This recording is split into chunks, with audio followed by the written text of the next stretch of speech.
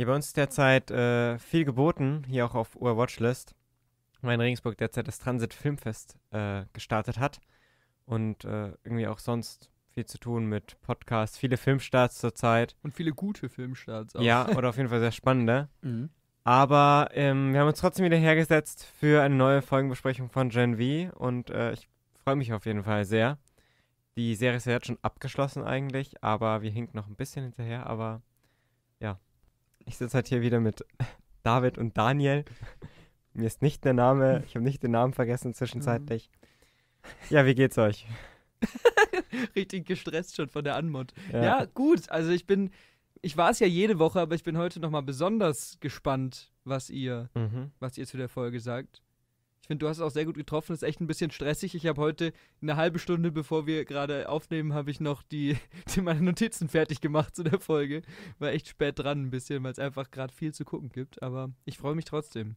Meine Notizen habe ich nur in meinem Kopf. Ähm, ich, bin, ich bin auch gespannt, was ihr dazu sagt. Der Felix hat das ja äh, letzte Woche schon richtig erraten oder schon befürchtet gehabt, dass es eine Füllerfolge wird. Ja. Aber ich fand, für eine Füllerfolge war die okay. Ja, da, kommt, da kommen wir noch dazu. Also ich bin, ich bin gespannt. Genau, wie immer, wir spoilern hier Gen V und The Boys. Und dann würde ich sagen, legen wir einfach gleich los. Oder habt ihr noch Ganz was vorweg? genau. Ich habe nichts mehr vorweg. Also wir haben uns heute, kann man ja dazu sagen, äh, die Folge aufgeteilt. Also die letzten Male habe ich ja immer thematisch durch die Folge geführt. Heute mache ich die erste Hälfte und äh, Felix macht die zweite Hälfte und die anderen geben einfach immer so ihren Senf dazu, so ein bisschen. Mhm. Mhm. Und genau, ich glaube, du hast wieder ein paar allgemeine Infos mitgebracht zu der Genau. Folge. Die heutige Folge heißt Jumanji. Äh, ist von Rachel Goldberg ähm, inszeniert worden. Die hat jetzt vor allem bei so ein paar Serien oder sowas mal ein bisschen was gemacht. Jetzt nichts ganz groß Bekanntes. Ähm, ist für mich immer sehr praktisch, weil irgendwie die meisten Folgen immer eine Bewertung von 7,8 haben. Also ich muss immer gar nichts ändern. Äh, ist auch mit 40 Minuten ein bisschen kurz. Ist die kürzeste, oder? Ja, es gab schon ein paar 40 Minuten. Ich glaube, die Mhm. zweite oder sowas war auch ziemlich kurz. Mhm.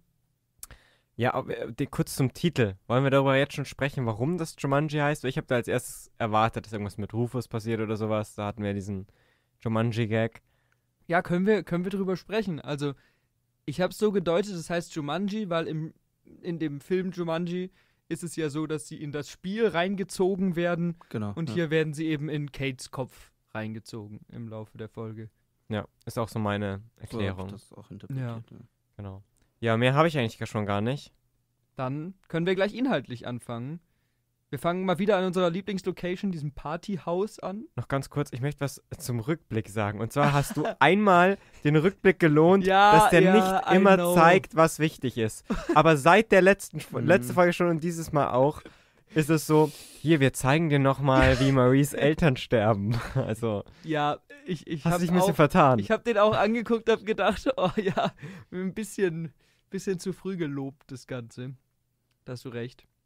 Äh, Im Partyhaus ist, kennen wir uns ja auch mittlerweile schon relativ gut aus. Also ich habe nochmal so ein bisschen auf die Hintergründe geachtet, jetzt gerade in der ersten Szene, wo wir das Haus sehen. Mhm. Ähm, da sieht man zum Beispiel dieses Black Noir-Schild, dass man, ähm, was immer bei den Orten hing, wo was passiert ist, wo dann sagt, ja, ja, man soll nicht gucken und so. Das haben sie anscheinend geklaut und auch in dem Haus gehabt. Das fand ich ganz cool.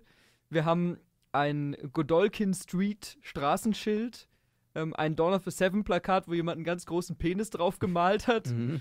äh, ein Starlight-Plakat und äh, ein Plakat, wo drauf steht Girls Get It Done, wo Maeve, Starlight und Stormfront drauf sind, was ja eine Anspielung an diese eine Szene aus Dawn of the Seven ist, wo sie äh, wiederum Avengers parodieren, wo es so eine Frauenszene ist, wo die Frauen zusammenstehen und sagen, ja, ja, wir schaffen das zusammen. Ähm, fand ich ganz witzig, dass sie es auf dem Plakat haben und vor allem, dass es da drin hängt, so nach dem Motto, ja, das ist ein altes Plakat, weil eigentlich ist ja Stormfront in Ungnade gefallen, Mhm. zu Recht. Aber jetzt, ähm, jetzt hängt das Plakat immer noch bei denen und ich habe einfach wieder gedacht, dieses Set-Design ist geil. Ja, da war auch ein Schild Biertime. Echt? Finde ich passt auch sehr zu Dusty irgendwie. Mir ist die, die Lampe aufgefallen. Und Mhm. zwar ist der Lampenschirm aus lauter diesen, diesen roten Bierkom äh, Bierpongbechern. Echt? Echt? Ja. Das will ich aufhören. Witzig. Ich, ich, ich fand mich schon inspiriert. Ich habe Bock, sowas selber zu bauen. Ja, und da ist ja auch irgendwo im Hintergrund ist irgendeine Deko, wo sie so ganz lang über der Bar, glaube ich, an der Decke so ganz viele BHs aufgehängt haben. Das ist mir noch nicht Also- aufgefallen, da muss ich nochmal reingucken. einfach, ich ich finde einfach, man merkt, die haben da wirklich so mit nach realem Vorbild so ein übertriebenes Partyhaus gebaut. mhm. Äh, Kate lässt Emma wieder sich an alles erinnern und sieht man schön nochmal so zwei, drei Schlüsselszenen aus der Serie vorher, was, was Emma erlebt hat. Und Emma geht ab und beleidigt sie so ein bisschen beiläufig, was ich eigentlich ganz gut fand, weil Emma ist ja in dieser Gruppe schon noch so ein bisschen, die so ein bisschen außen vor ist, weil sie ja nie so viel mit anderen zu tun hatte und für sie bedeutet es jetzt auch gar nicht so viel, dass Kate es gemacht hat. Sie ist einfach nur so, ja, du Fotze oder sowas und geht dann ab. Also, genau. Und sie, sie verlässt dann eben auch die Gruppe relativ schnell, weil sie wieder so ein bisschen ihren eigenen Arc bekommt in der Folge. Jordan und Marie hingegen sind ein bisschen genervter davon und konfrontieren Kate und man merkt ihr doch jetzt, was wir ja letzte Woche kritisiert haben, an, dass sie sehr geschwächt ist, weil sie taumelt ja schon so ein bisschen, bevor sie später dann wirklich umkippt. Man hat das Gefühl, das kostet sie doch sehr viel Energie. Ist natürlich auch ein kleines bisschen willkürlich, wann sie es Mhm. jetzt so viel Energie kostet und wann nicht. Das hat mich aber jetzt gar nicht so gestört. Nee, mich auch nicht. Und ein Stichpunkt, den Daniel, den du letzte Woche gesagt hattest, der, der hier mal wieder sehr gut trifft. Sie erweitern die Kräfte von allen Figuren. Sie erweitern nämlich Mhm. auch die Kräfte von Kate, weil sie kann die Gedanken hören von den anderen. Das heißt, die, die sagen zwar nichts zu Gemeines, aber sie hört, dass sie eben enttäuscht von ihr sind, dass sie sie Ja. beleidigen und so weiter. Was ich auch echt stark fand. Es kommt Mhm. ja in der Folge später noch, wird nochmal aufgegriffen. Aber das, das macht irgendwie. Das macht sie dann doch noch zu einer interessanteren Figur. Und noch ein bisschen verletzbarer. Genau. Bisschen menschlicher vielleicht sogar noch. Und Ja. macht ja noch ein bisschen stärker Ja. auch irgendwie. Also, Da ist es ja aber auch kein, kein Neuentdecken von einer Kraft, sondern die hat sie ja. Aber haben wir schon mal aber gehört. wir entdecken das Wir ja, halt. genau, das für, genau. für Ja. uns, ganz Ja. genau. Also wir, wir kriegen es mit nach und nach. André sitzt in einem anderen Zimmer in dem Haus. Ich dachte erst kurz beim ersten Gucken, dass das sein Unizimmer wäre und habe gedacht, wieso ist er da jetzt? Aber Mhm. er sitzt auch in dem Haus. Ich glaube, es ist sogar dieses Zimmer, wo wir in der Folge vorher gesehen haben, wo der Feuerspucker und die Meerjungfrau Mhm. ähm, drin waren. Weil da nämlich, glaube ich, auf dem Tisch auch noch so Kokslines sind und er in der Ecke auf so einer Couch sitzt. Ich bin mir aber nicht ganz sicher. Und wir haben, da bin ich ja immer ein bisschen kritisch, eine relativ langweilige Titeleinblendung. Mhm. Mhm. Ich finde es immer cool, wenn man da irgendwie so das mit dem Bild verbindet und da wird es halt einfach drauf geklatscht. So. Ja, den Raum habe ich jetzt nicht mehr analysiert, da gibt es nicht so richtig viel zu sehen, außer ihr habt da noch irgendwas entdeckt. Nee. Ähm, André macht Marie gegenüber Kate Vorwürfe, glaubt, sie hat Luke dazu gezwungen, die bestimmten Sachen zu machen und so.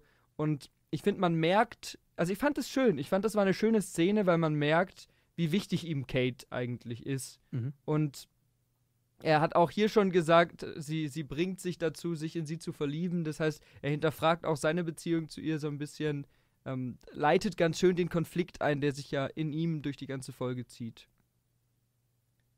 Marie gibt aber eher so ein bisschen der Uni die Schuld Ja. und vergleicht das Ganze ja auch mit ihrer, mit dem Red, wie hieß das? Red River Institute, glaube ich, wo sie Mhm. vorher war und sagt, im Endeffekt ist das alles der gleiche Scheißverein. Und ja, ich, ich habe dann überlegt, stellt euch mal vor, ihr wärt in so einer Situation. Man hätte sich doch eigentlich ein bisschen mehr aufgeregt, oder? Mhm. Also ich habe so ein bisschen das Gefühl gehabt, ja, es kommt schon rüber, dass die Kate jetzt nicht mehr vertrauen und so, aber dieses totale plötzliche Aufregen, dieses Entsetzen so, Ja. das war mir ein bisschen zu Bei wenig. Emma sieht man das ja. Ja. Ja, stimmt, bei Emma passt's ja auch. Die nennt sie eine ja. Kant und haut ab. genau, ja. Aber Und bei den dann- anderen, Ja, die anderen hocken halt dann mit ihr rum, ne? Ja, aber ist vielleicht auch ein bisschen Zeit vergangen schon zwischen der letzten Folge, so, also nicht ein Tag oder so, aber zumindest ein bisschen was. Da haben sie zwischen vielleicht schon dem wieder. Ende der letzten Folge, ja, weil alle haben ja ihr Gedächtnis wieder, ne? Aber- Dennis hat sie denen wiedergegeben. Und André ist wahrscheinlich rausgestürmt und hat Aber die Tür doch- zugeschlagen also und ich will halt allein so sein. verstanden, dass da überhaupt keine Zeit vergangen ist. Sie hat Mhm. André die Erinnerung zurückgegeben, dann war ein Cut, die nächste Folge findet statt. In der Zeit dazwischen hat sie nur eben Jordan und Marie auch die Erinnerung ja, genau, aber ich meine, Jetzt kriegt's eben Emma und dann machen wir gleich weiter. André ist im Zimmer vielleicht nebenan. waren die ja da schon angepisst.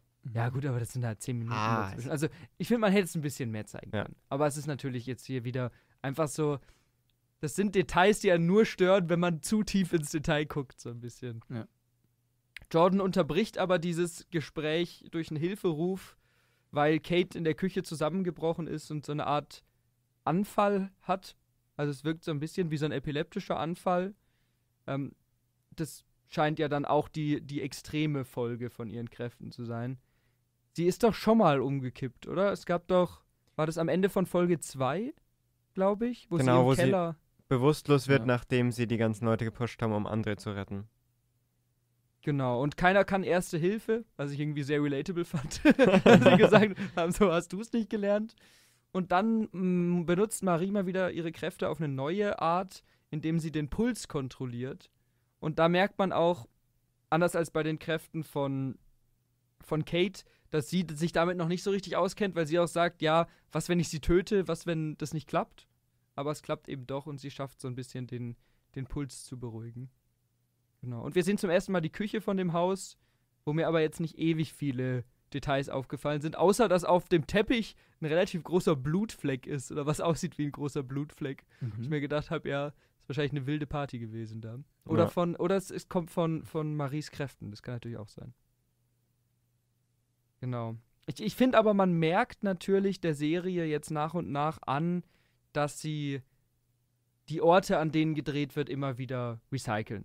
Das passt natürlich auch, aber so dieses Zimmer, dieses allgemein dieses Haus, auch die Orte, an die wir später noch kommen, das sind alles Plätze, die wir, die wir schon ke- kennen. Deswegen können wir da jetzt auch nicht mehr so groß Details raussuchen, Ja, weil wir ja. immer denken, ja, da haben wir schon drüber gesprochen.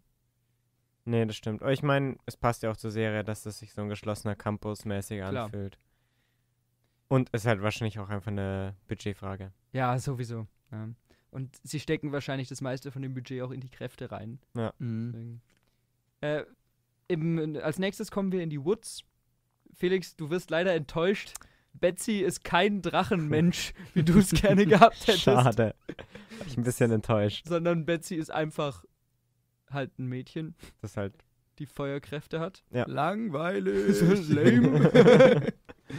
und Indira und Dr. Kodosa kommen in ihre Zelle und Betsy wurde anscheinend mit dem besagten Virus, über das wir letzte Woche gesprochen haben, infiziert und kann ihre Kräfte nicht nutzen. Ich fand das witzig, wie sie nur so ein bisschen so Funken schlägt, Mhm. anstatt Feuer zu machen. Das war irgendwie ganz, ganz schlau gemacht. Und wir lernen hier schon, die Infektion dauert zwei Tage und das Ganze ist nicht ansteckend für Menschen. Das ist mir gerade aufgefallen. Vielleicht ist ja ihre Kraft, dass sie sich in einen Drachen verwandeln kann. Maybe. Und kann sich jetzt eben nicht mehr verwandeln. Heißt, es ist noch Hoffnung. Es ist noch Hoffnung. Es Wobei sein, jetzt ist es, äh, nach der Folge ist es eh egal. ja. Es ist keine Hoffnung mehr, aber das könnte sein. Vielleicht war das auch so Magie-Schnipsen und dann wird sie zu einem Drachen. Ich, und, ich glaube an den Traum. Bin ich ein Verfechter dieser Theorie, finde ich sehr gut. Also ich, ich fand das mit dem Virus, ich finde das wild, ich finde das geil. Weil Mhm. das einfach in dieses Boys-Universum nochmal da so, so die Kräfte verschiebt irgendwie und Ja. so eine ganz neue Komponente reinbringt. Das passt auch sehr gut von dem, was die Leute da so machen würden, um die unter Ja. Kontrolle zu halten. Ganz Weil- genau. Es macht ja nicht nur krank oder sondern es raubt ihnen eben auch diese Kräfte irgendwie so. Ja. Das finde ich schon spannend. Ich finde dann Indiras Erklärung danach ein bisschen schwach, warum jetzt Cardosa das weitermachen, weiterforschen soll. Aber Im Endeffekt ist es halt, sie setzt ihre Autorität durch. Ja. Also die Erklärung, ich habe ich hab schon wieder vergessen, wie genau sie es erklärt hat. Eigentlich sagt sie, also es kommt ja raus, dass das Ganze von Wort entwickelt worden ist und eigentlich das jetzt der Punkt ist, wo sie Wort Bescheid geben müssten, aber Indira will eben noch mehr Fortschritt und will, dass die Dosis erhöht wird. Ja. Gibt's da, aber was sagt sie denn da als Begründung, weißt du es noch? Ja, irgendwie sowas wie, wir können uns noch nicht sicher sein, wie sehr das wirkt und sowas. Und ähm, also ich fand, das war keine richtige Erklärung. Und ich habe mich dann auch gefragt, was, was will sie genau? Warum Ah, das erfahren wir ja das noch. weiter? Also das erfahren wir nur noch. Ich frage mich, wieso sind diese Woods unter der Schule? Ja. Also vielleicht wird es ja noch erklärt, aber da habe ich mir jetzt auch wieder gedacht, du gehst ja so viele Risiken ein, die ja auch alle passieren. Irgendwie Sam läuft mal weg zwischendurch und der erinnert sich dran und da muss das Gedächtnis wieder von Kate gelöscht werden und hier und da. Wieso ist es nicht einfach woanders? Wo ist die Verbindung zur Schule so? Ich meine, so auch Sicherheitsaspekt technisch ist doch Quatsch. Also du hast Schüler, die durch Wände laufen können oder so. ja, ist so. Wieso machst du das dann praktisch unter deren Wohnzimmer? Ja, vielleicht, vielleicht kommt da ja noch irgendwie eine Erklärung, dass sie dann äh, an mehr Schülern rumexperimentiert haben und immer deren Gedächtnis gelöscht haben oder so. Das wäre das Einzige, was ich mir vorstellen kann. Und wir wissen ja, dass Brink sehr stark involviert war. Ja. Vielleicht hängt das auch damit zusammen, dass er das Ganze angestoßen Ja, hat. so- Ne? Ja, Universität, Forschung. Ich würde das gerne an der Uni machen, dann muss ich nicht woanders hinfahren. Nicht so einen Kilometer rausfahren, das wäre ja zu weit. Das schon, stimmt, das ist schon ein bisschen dumm. Aber wer weiß, vielleicht kommt es ja noch. Es kam bei- bei der Serie jetzt schon über, überraschend oft Sachen, wo wir gesagt haben, Boys ist dämlich und vier Folgen später ist dann erklärt worden, wieso Ja. das so Mhm, war. Deswegen stimmt. noch nicht zu früh judgen. Ich finde auch, dass hier wieder sehr auffällt, wie sehr Shetty diese Soups zu hassen scheint. Mhm. Also, ich glaube ja immer noch, dass da was mit dieser Tochter kommt. Weil Mhm. sie hat in dieser einen Szene mal gesagt, ja, ich hatte mal eine Tochter. Ich glaube, irgendwas, dass irgendwie ein Soup hat ihre Tochter umgebracht und deswegen äh, macht sie jetzt alles, um die Soups zu töten oder sich zu rächen an denen. Ja, so. das Ja. klingt sehr vernünftig. Das, das stimmt. Ja, weil sonst. Sie, sie hat ja auch sonst überhaupt keinen, keine Motivation, so böse zu sein. Ja. Mhm. Ich finde sie aber bisher noch immer nur so mittelmäßig. Ich finde sie ein bisschen Ja. schwach, als, auch als Bösewichtin irgendwie. Aber mal Ja. schauen. Habt Ich finde, es variiert habt ihr auch. nähere Theorien, welcher Held die Tochter umgebracht haben könnte? Nee, Na. also keinen speziellen. Ich glaube, das ist einfach nur Also, irgendeiner. na, vielleicht lässt sich's ja dann noch irgendwie mit einem mit einem Cameo-Auftritt verknüpfen. Mhm. Also, ich könnte mir vorstellen, sehr gut sogar, dass in, innerhalb der letzten beiden Folgen noch irgendein Sub, den wir kennen, auftaucht. In einem Das wird ja Rückblick oder so vielleicht. In einem Rückblick oder vielleicht auch im Rahmen von dieser Parade, über die wir ja gesprochen haben, die vielleicht stattfinden könnte. Mhm. Und vielleicht ist es ja dann so, dass genau der Sub auftritt, sei es jetzt Dieb oder Homelander oder keine Ahnung, wer auch immer, der dann für den Tod verantwortlich ist und deswegen will sie den Virus und den Sub will sie dann anstecken oder irgendwie sowas. Mhm. Ja, maybe. Hast du Theorien oder glaubst du ja nicht so dran? Ich habe jetzt mal auf Homelander gesetzt, weil bei dem sonst nicht so ein persönlicher Fall da ist. Ich meine, Mhm. bei A-Train hast du ja aus The Boys und Mother's Milk ist ja da genauso. Bei wem war das? Home Soldier Boy hat da doch irgendwie ein Auto durchs Haus geworfen oder so. Ja, und dabei ja, ist ja, seine ja. Familie umgekommen, genau. Und Homelander wäre jetzt dann der, der noch offen ist, finde ich. Ja. Zumindest halt in einer Verbindung zu einer Figur, die wir gut kennen. Mhm. Weil wir haben ja schon diese Szene mit Homelander, wo er die Frau dann dazu bringt, sich umzubringen und vom Dach zu hüpfen und so. Oder dieses, ähm, dieses Flugzeug, was er mit allen Leuten drin explodieren lässt. Aber da hast du recht, das würde dann dem nochmal eine persönlichere Komponente geben. Das könnte gut sein. Und ein Homelander-Cameo wäre natürlich auch das, das Ding so. Ja. Weil Homelander ist und, äh, und Billy Butcher sind halt die Figuren, Mhm. die für die Boys-Serie stehen und einen von beiden da vorkommen zu lassen im Finale wird schon passen und ich weiß nicht, wie Butcher da reinpassen sollte. Also da wäre Nee. Homelander schon stimmiger. Wir sind zurück im Partyhaus. Äh, Kate wird im Hauptraum, den wir eben schon gesehen haben, aufs Sofa gelegt. Sie führen das Koma so ein bisschen auf ihren Zustand zurück und Dusty kommt dazu. Dusty hat irgendwie ein wildes Outfit mit so einer großen Bauchtasche und so einem Bademantel, fand ich sehr lustig. Mhm. Und plötzlich, während sie sich eben über Kates Zustand unterhalten, wacht Kate auf und verschwindet genau im gleichen Moment. Was war eure, euer erster Gedanke, als das passiert ist? Genau, weil die Szene hat man ja schon im Trailer von der Mhm. Folge gesehen, den ich gesehen hatte. Und da dachte ich, dass das jetzt Dustys Power ist. Mhm. Dass er merkt, okay, die wacht auf und springt so auf und dann zack, teleportiert er sie woanders hin, Mhm. wo sie praktisch dann nicht nochmal irgendwie Schaden anrichten können Mhm. oder was auch immer. Ja, das war so mein Gedanke. Ja, ich habe mich erstmal gefragt, hä, sie wird sich jetzt doch sicherlich nicht auch noch teleportieren können. Mhm. Das wäre schon ein bisschen zu viel. Mhm. Und dann wird das ja ziemlich schnell aufgelöst und auch ziemlich schnell in eine andere Richtung gesponnen, was man merkt, okay, irgendwas geht ja ganz, ganz anders ab. Ich dachte erst, sie wird unsichtbar. Ja. Mhm. Weil, weil dann ist ja direkt im Anschluss, als dann diese Mindfuck-Sequenz beginnt, sehen wir ja, wie die Rückwand von dem Raum sich so aus auflöst. Und ich dachte kurz, wird sie jetzt unsichtbar und baut diese Wand auseinander? also gedacht, hä, was passiert hier jetzt? Ich musste da auch hier an die, wie heißt die Figur nochmal? Von den Fantastic Four. Susan Storm. Susan, Susan Storm. Das war denken. auch einer meiner Gedanken, Ja. weil sie auch so blonde Haare Ganz hat. genau, ganz genau. Ja, aber dann lernen wir eben relativ schnell, dass es nicht so ist. Die Wand löst sich auf und sie gehen durch und drehen sich um und das Haus scheint auch sich so ein bisschen aufzulösen. Ich fand die Effekte geil. Ich mochte das, dass sich alles so am Bildrand so ein bisschen, dieses Haus löst sich auf, später löst sich ja auch der Wald so ein bisschen in Einzelteile auf oder eben das, das Zimmer von Kate, was wir dann später sehen. Weiß Und nicht, das sah auch gut aus, fand ich. Ja. So diese, die Steine, die dann rumgeflogen sind und so. Ja, das mochte ich irgendwie. Also sie laufen dann durch den Wald. Ich dachte auch erst, da habe ich noch nicht gecheckt, dass es in ihrem Kopf ist. Mhm. Da dachte ich, sie gehen halt einfach hinten aus dem Haus raus, irgendwas stimmt mit dem Haus nicht und sie laufen durch den echten Wald. Same. Und es ist mal wieder dieser, dieser schöne Satz, den wir schon so oft gehört haben von Marie. Vielleicht ist sie mächtiger, als wir dachten. Ja. Und dann, wir sehen hier schon die Blitze im Hintergrund, die später ja auch noch eine Rolle spielen. Und ja, dieses Waldsetting, habe ich gerade beim zweiten Gucken auch gedacht, ist halt einfach ein billiges Setting. Deswegen setzt man das in den Wald. Aber fand ich jetzt hier nicht schlimm. Also Mhm. War, war, war in Ordnung. Ja, aber mit den Effekten. Mit den Effekten zusammen ist es zumindest nicht so basic. Also. Ja. Sie stolpern dann so ein bisschen in einen Rückblick rein, äh, nämlich aus Kates Kindheit. Kates Mutter und ein Polizist suchen den Bruder, der schon seit drei Tagen verschwunden ist. Und Kind Kate kommt dann eben dazu Mhm. und beide Erwachsene vermitteln aber, boah, halt mal lieber Abstand.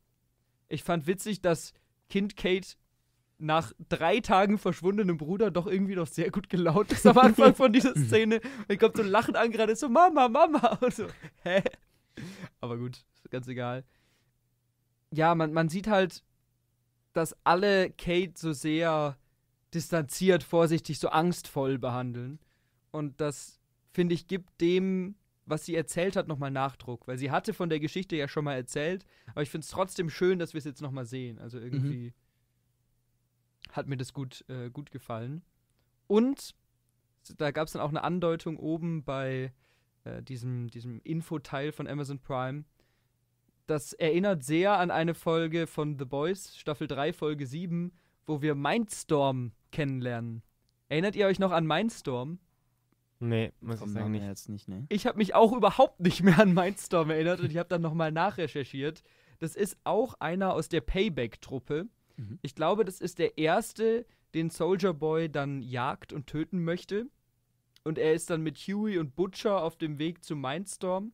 Mindstorm kann auch Gedanken lesen und kontrollieren, durch Augenkontakt aber, also nicht durch das Anfassen. Und der hatte bei Wort eine Show als Zauberer, was ich sehr lustig finde. Äh, gerät dann aber außer Kontrolle und tötet später aus Versehen eine Biker-Gang, indem sie dehydrieren, während er sie in ihren Albträumen gefangen hält. Also wilde Story. Das wird aber auch nur am Rande erzählt, das sehen wir nicht in The Boys. Mhm. Und er wird dann wahnsinnig wegen den Stimmen in seinem Kopf, hat auch so ein bisschen so eine gespaltene Persönlichkeit ähm, und wird dann eben im Endeffekt von Soldier Boy gefangen und getötet. Aber vorher schafft er es noch, Butcher einzufangen. Mhm. Und Butcher wird dann sozusagen in seine eigenen Erinnerungen gesetzt und sieht immer wieder, wie sein kleiner Bruder von dem Vater verprügelt wird. Ich weiß nicht, ob ihr euch da noch dran erinnert. Oder Ja, es wird auch ja. angedeutet, dass da noch mehr Missbrauch dahinter steckt und so. Und ja, ist dann doch irgendwie sehr nah da dran. Das hatte ich aber gar nicht mehr in Erinnerung. Also ja, diese ich auch nicht, aber ganze- jetzt, wo du es sagst, ja, da gab es auf jeden Fall eine Szene, das stimmt. diese ganze Folge ist irgendwie nicht so hängen geblieben. Also wir hatten Mhm. ja letzte Woche auch über Mesmo gesprochen, über Mesmerizer, den Bösewicht. Und der war wirklich einer der wenigen so kleinen Antagonisten, die so richtig da geblieben sind. Also Mindstorm, keine Ahnung, Ja. wusste ich nicht mehr. Und besagter Soldier Boy tritt dann auch direkt auf. Beziehungsweise ist es ja nicht die, genau dieser Soldier Boy, Mhm. sondern es ist Kates imaginärer Freund Soldier Boy, der dann so ein bisschen, ja, der haut ein paar Jokes raus, ein paar Sprüche, unter anderem, dass er Kate gezeigt hat, wie man masturbiert mit einem Soldier Boy Kissen. Und einer der besten Jokes der Folge, wo, wo Dusty dann ihm so die Faust hinstreckt und so sagt, ja Mann, Bruder. Und Soldier Boy so, fick dich. Das fand ich schon sehr lustig. Ich Ähm, fand generell, diese Szene war großartig. War Ja. eine meiner Lieblingsszenen in der Folge. Ich fand, sie haben es auch wieder mal geschafft, so wie diesen The Deep Cameo in Form eines Videos hier auch Soldier Ja. Boy sehr gut einzuarbeiten, Mhm. finde ich. Und ich fand auch echt seine Sprüche hilarious. Also, Ja, und irgendwie gleichzeitig schafft man es, so diesen Soldier Boy-Charakter einzufangen. Also der fühlt sich schon so an wie Soldier Boy ja auch in der Serie. Aber man fühlt schon auch so dieses Teenie-hafte in Ja. ihm. Also er ist nicht so die ganz ernste Figur, die er ja in der, in der Serie ist. Ja, Das ist ja mehr der, der Soldier Boy, den Kate halt aus Filmen und Werbung Ganz kennt. genau. ja. das ist ja dann auch, als sie über, darüber reden, dass er eigentlich ein Kommunist ist und er so, nein, nein, mein Blut ist rot. Also Mhm. Amerika-rot, nicht Kommunistenrot. Ja. So. Genau, was ich interessant fand, sie sagen ja dann zu ihm, du bist Kommunist gewesen. War er aber ja nicht. Hm. Mhm. Also wir haben ja in der, in der Serie gelernt, dass das so ein Komplott war gegen ihn von Wort, um ihn aus dem Verkehr zu ziehen ähm, und ihn so ein bisschen zu diskreditieren, aber eigentlich war er ja nie dieser, Bö er war ein böser Mensch, aber kein Kommunist. Und ich finde interessant, dass das bis heute aber aufrechterhalten wird. Also die Studenten glauben ja, dass er Kommunist war, oder? Ja, und passt ja auch dazu, dass sie ihn dann aus Russland irgendwie rausgeholt haben. Ich glaube, das hat man dann als Wort irgendwie. Ich glaube, in einer der ersten Folgen, da haben wir noch drüber gesprochen, dass bei einer der Nachrichtensendungen stand, irgendwie drei russische Angriffe. Mhm. Und da wurde auch Bezug auf diesen Soldier Boy-Vorfall genommen. Und ich glaube, deswegen ist auch noch immer relevant, deswegen denken auch noch immer alle, Soldier Boy hat was mit den Russen und den Kommunisten zu tun. Mhm. Wäre jetzt so meine, meine Theorie. Stimmt. Das könnte, das kann gut sein. Ja. Sie, äh, beziehungsweise Soldier Boy spricht dann auch an, dass André ja Kates Fick-Freund ist in der Synchro. Und das scheint ja auch unter den anderen Common Knowledge zu sein, oder? da Also- sind sie auf jeden Fall noch nicht In schockiert. dem Moment wissen die das ja Die alle. wissen ja, dass was bei denen läuft. Genau, Das haben sie ja auch gesehen. genau, genau. Und da frage ich mich dann natürlich, später regen sie sich ja in einer gewissen Szene sehr auf. Hier tun sie das noch nicht. Und mich wundert es ein bisschen, dass sie hier das noch nicht komisch finden, dass André und Kate ungefähr einen Tag nach Soldier Boys Tod miteinander anbandeln. Weil von Mhm. da an kriegen sie es ja mit und trotzdem sagt keiner was. Später dann aber doch. Ja. Ja, Details, aber. Dann kommt ein bisschen sehr direkter Exposition-Talk von Soldier Boy, dass er da erzählt, ja, wir sind in Kates Kopf und die Blitze, die da explodieren, sind platzende Blutgefäße und wenn ihr hier drin sterbt, dann sterbt ihr auch in echt. Mhm. Ja, ja, Ja, so ungefähr, Ich, ja. hab, ich hab's mir auch gedacht, weil natürlich gibt's irgendeine Gefahr, diese Blitze. Natürlich Ja. gibt's auch eine tickende Uhr. Hey, ihr könnt nicht ewig hier drin bleiben. Das fand ich auch ein bisschen doof. Also dieses ganze Konzept ist halt Echt? Zusammen konstruiert. So, ja, wir machen jetzt noch hier ein, zwei Gefahren. aber es ist nicht zusammen konstruiert. Also, ich- es ist ja schon logisch, es ist ja schon stimmig. Es, es du, passt sehr gut. Es hat mich nur sehr daran ja, erinnert. es ist halt nicht neu. Sehr inspiriert. Es ist überhaupt nicht neu, aber ich finde es durchaus stimmig, weil wir haben vorher schon gelernt, Kate ist völlig fertig, wenn sie zu viel ihre Kräfte benutzt und dass das zu ihrem Tod führen könnte, finde ich schon stimmig. ja, aber ich finde das Konzept, äh, wir holen sie nicht nur in den, in den Kopf von Kate, sondern natürlich bauen wir auch noch eine, eine Zeitfrage und eine Gefahr ein. Ist irgendwie so ein bisschen, Es ist halt klassisches ist ein Storytelling. bisschen boring, ich finde finde ich. es nicht schlimm. Also, Okay. na. Man sieht dann eben auch kurz, wie sie in der realen Welt um Kate rumliegen auf Mhm. dem Boden, beziehungsweise man sieht nicht alle, weil man sieht Dusty nicht. Der liegt hinter der Couch. Wahrscheinlich, ja. Der stand ja da oben. Ähm, Soldier Boy sagt dann natürlich, auch wieder ein witziger Gag, der sagt, was ihr unbedingt wissen müsst. Und dann explodiert er halt. Und sie ziehen weiter, sozusagen. Mhm. Und André sagt noch, der war schon ein Schwanz, oder? Ist ein bisschen Ja. angepisst von Das stimmt. äh, Kates Imaginary Friend. Ja, also ich, ich sehe es wie du, ich fand das super, das Cameo. Mir hat das gut gefallen, ich finde, das war gut eingearbeitet. Ähm, stimmig, hat Spaß gemacht, hat nicht gestört. Nee, ich fand die auch beim zweiten Mal noch Ja. super lustig einfach. Mhm. Was sagst du? Die Szene mit der, die Masturbationsszene, die fand ich ein bisschen übertrieben, wo er dann so einen Begriff nach dem anderen Ja. raushaut. Ja. Da dachte ich mir dann so, ja, okay, irgendwann, Ja, das ist ein auch, bisschen aber- abgenutzt dann. Ja. ja. Aber sonst fand ich das, ja, hat gut gepasst. Dann begeben wir uns zu unserem Parallelhandlungsstrang im Autokino. Emma erinnert sich eben an alles und kommt zurück zu Sam. Sie umarmen sich. Man hat im Hintergrund einen Spieleautomaten, wo Magnetio Spieleautomat mit Polarity als Bild drauf ist. Ich fand Magnetio klingt schon sehr wie Magneto. Weiß nicht, ob das eine absichtliche Anspielung war. Ähm, und da sind so diese, diese Funko-Pops drin, die Mhm. ja auch schon in der ersten Folge aufgetaucht sind oder so, die es von den Helden gibt, die so teuer verkauft werden.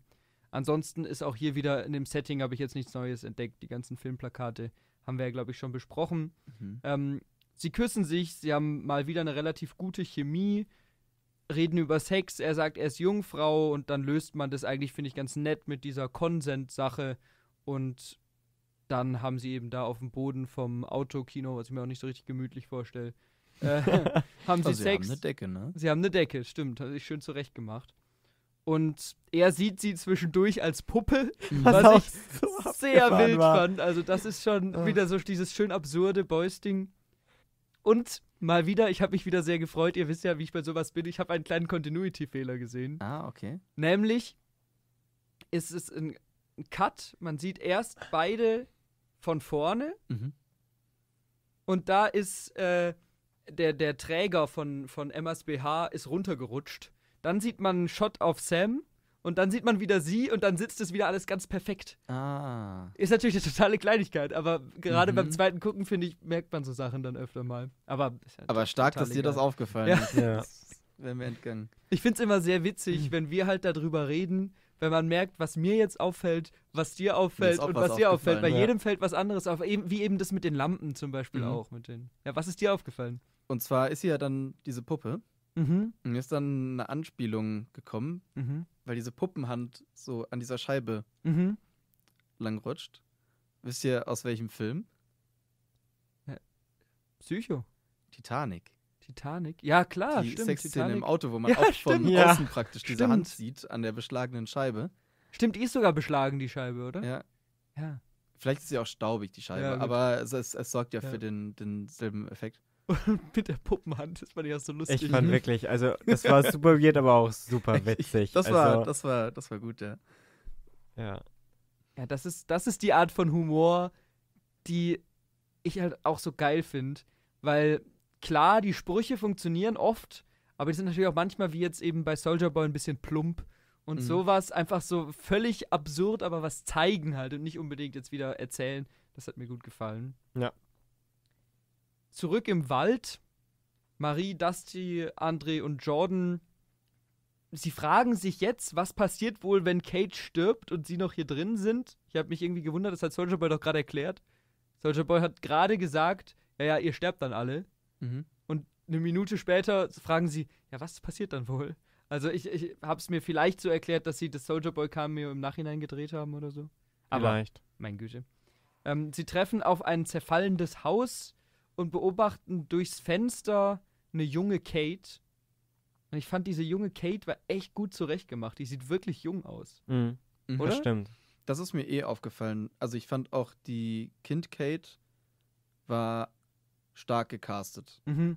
Aber das war gut gemacht. Und dann bei der, bei der jüngeren Kate ist ja dann die gleiche Schauspielerin, aber da, die sieht auch einfach gute Ja. fünf Jahre jünger aus. So, das, Gerade durch Frisur und Outfit und so haben die da echt viel gemacht und glaubt, dass sie, glaube ich, hier nicht geschminkt ist und in den Mhm. anderen Szenen schon gut funktioniert. Sie schaut Videos über Mathe, wo es um Integralrechnung geht, wo ich gleich gedacht habe, Mm.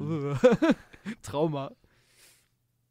Das heißt aber wohl, sie war, bevor sie auf die God You gekommen ist, war sie nie in der Schule, oder? Oder Nee. zumindest sehr lange nicht in der Schule. ja, vielleicht hat sie auch immer nur so Online-Unterricht bekommen. Wahrscheinlich, ja. Weil es ja dann auch später heißt, wie lange sie da eingesperrt war und so. Ja. Mhm. Und da kann sie ja nicht in der Schule gewesen sein. Äh, ihr Zimmer ist irgendwie eine coole Kombi aus so einem klassischen Kinder-Teenie-Pferdezimmer, aber eben dann auch Plakaten von Maeve, Countess und Soldier Boy. Unter anderem ein Crimson Countess-Film, ein Thriller, der heißt Whiskey Sunrise. Mhm. Und da habe ich äh, nachgelesen, der ist produziert. der Produzent davon ist The Legend. Und The Legend haben wir ja in Staffel 3 von The Boys als diesen Heldenmanager von Ward äh, kennengelernt, der früher für Ward gearbeitet hat, dann den Boys geholfen hat und Informant für die war, dann aber, glaube ich, ein Bein verloren hat und dann sich von beiden Seiten abgewendet hat. Mhm. Und das ist auch einfach so witzig. Das, das steht da nirgendwo, aber es gibt halt in dieser Welt so diese lauter Verknüpfungen und so. Das hat mich auch wieder richtig gefreut. Erinnert ihr euch noch an den? Wie fandet ihr diesen The Legend? Ich erinnere mich an den, aber der spielt ja auch dann nicht mehr so eine Riesenrolle. Ich finde, das war dann ein bisschen wasted auch fast Ja. schon. Der Mhm. war so ein bisschen halt dieser man. klassische Filmproduzentenverschnitt, so Ja. Mhm. Harvey Weinstein-mäßig. Da mal einen Witz drüber gemacht und dafür war er da. Ja, so dann ungefähr. Ist er wieder vielleicht- weg. Vielleicht kommt er ja nochmal. Ich glaube, der stirbt nämlich nicht. Ne, der wenigen, we- wenigen Nebenfiguren, die nicht direkt gekillt werden wieder. Ähm, was ich auch cool fand, man sieht im Hintergrund so ein Tablett mit Essen. Das heißt, wahrscheinlich wird das Essen ihr immer nur reingestellt und abgestellt, damit man ihr nicht zu nahe kommen muss. Und ähm, obwohl das Zimmer eigentlich so normal aussieht, hat sie so eine Bunkertür. Ja. Wo ich mir auch gedacht habe, sie könnte halt auch durchs Fenster gehen, weil das Fenster ist ein ganz normales Fenster. Aber ja, es hat so ein bisschen an diese Bunker in der Uni erinnert, Ja. finde ich. Mhm. Aber man merkt ja dann auch, wenn Indira reinkommt, dass sie selber Angst davor hat, anderen Leuten zu Mhm. begegnen und irgendwie so drauf getrimmt ist, Mhm. ich bin böse. Und finde ich auch irgendwie einfach nur zu sagen, hey, sie ist dann zehn Jahre eingesperrt, ist natürlich krass, aber ist halt nur gesagt. Aber ich finde, man merkt wirklich hier auch ein bisschen, Genau. dass sie das irgendwie mitgenommen Mhm. hat, dass sie mit keinem was zu tun haben darf oder sowas und sich als böse sieht. Ja, so eine se- sehr verletzliche Seite sieht man von ihr, die man ja eigentlich, vielleicht jetzt abgesehen von ein paar Momenten in der letzten Folge, nicht unbedingt von ihr kannte. Sie ist ja eher so, gerade am Anfang als so Badass inszeniert worden. Ja. Mhm. Die Mutter warnt auch, als Indira dann reinkommt, so, ja, ja, gehen Sie nicht zu nah ran und so. Aber Indira macht wieder ihren Psychologie-Talk und manipuliert Kate. Hier hat es jetzt aber für mich verhältnismäßig gut funktioniert, weil ich eben fand, diese, dass, dass dieses naive, kleine, ängstliche Kind auf sowas reinfällt oder auf sowas einsteigt, finde ich deutlich stimmiger, als wenn jetzt irgendwie später Marie oder so dann von ihr manipuliert werden. Vor allem, wenn auch niemand mit der in den letzten zehn Jahren irgendwie Kontakt haben wollte. Ja. Ja, und Dann, dass mal dann einfach jemand da ist, mit dem die halt so reden kann, dann genau, man hat klar, dass die da drauf eingeht. einfach das Gefühl, sie schätzt, dass jemand keine Angst vor ihr hat. Das, Mhm. Da könnte jeder halt sitzen und das ist ja genau das, was du sagst.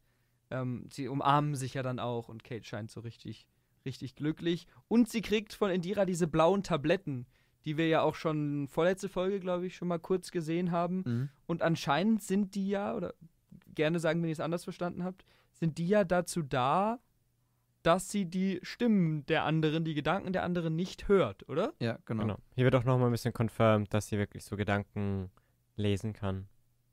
Und ich finde, das ist ja auch eine Anspielung an äh, Professor X aus den X-Men, der ja auch irgendwie, vor allem als Kind, alle Stimmen von überall hört und dann ein Mhm. bisschen echt drunter leidet, bis er dann diesen Helm Mhm. hat und dann muss er irgendwie damit klarkommen. Und der nimmt ja auch dann in einem der X-Men-Filme, in Days of Future Past, nimmt er ja dann auch Tabletten, die ihm die möglich oder Spritzen, glaube ich, die ihm die Möglichkeit geben, wieder zu laufen. Also sozusagen so ein bisschen wie sie sein Alltagsleben zu führen, aber dafür verliert er eben seine Kräfte. Ja. Und das passt natürlich hier auch ganz gut, weil Indira schaltet die Kräfte aus, die für sie selbst zur Gefahr werden könnten Mhm. und lässt nur die Kräfte da, die sie nutzen kann, die Kräfte von Kate. Das finde ich aber. Ich, ich bin gespannt, ob das irgendwie nochmal erklärt wird, wie das funktionieren soll. Dass dann nur diese Gedankenleskraft ausgeschaltet ist, aber nicht die so Leute was machen lassen, Kraft weg ist. Ja, das stimmt, das ist spannend. Aber ich glaube, es geht halt darum, dass er einfach die Stimme nicht hört Mhm. und irgendwie, dass das damit zusammenhängt. Ich kann mir auch nicht vorstellen, dass sie das nochmal erklären. Ich glaube, das soll auch einfach, das soll so ein bisschen sein wie irgendwie so Antidepressiva oder sowas. So ein bisschen. Habe ich jetzt so gedeutet. Ich weiß es nicht. Wir haben einen richtig coolen Übergang, finde ich, weil es wird rausgezoomt und die Szene, die wir gerade noch hatten, verschwindet und wir sehen sie auf einem Bildschirm in einem anderen Raum. Mhm. nämlich in der Crime Fighting School, in der wir wieder sind. Ähm, es wird noch ein Rätsel gelöst, was wir uns letzte Woche gestellt haben. Wir haben uns nämlich gefragt, ist Dusty noch Student? Mhm. Und Dusty sagt, ja, ich war schon seit Jahren nicht mehr in einem Kurs. Mhm. Es klingt aber so, er ist schon noch Student, Also, er äh, geht nur nicht in die geht nur nicht Kurse. hin. Ne? Genau. so habe ich es mir auch gedacht. Fühle ich.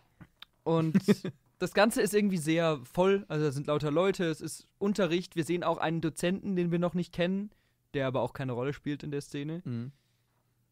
die Leute, die da sind, scheinen unsere Hauptpersonen nicht zu sehen oder zumindest nicht als irgendwie herausstechend zu erkennen. Und Luke kommt rein. Alle sind so ein bisschen überrascht. Luke hat eine sehr coole Jacke an, finde Ja, ich. ist mir auch aufgefallen. Und Mit den Knöcheln am Ärmel, ne? Der hat so Knochen, Stimmt, stimmt. Da Am- sind so an den Knochen Ärmeln. aufgenäht an den Armen. so ein bisschen skelettmäßig. Was ja auch Tot ist. Könnte man so deuten. ja.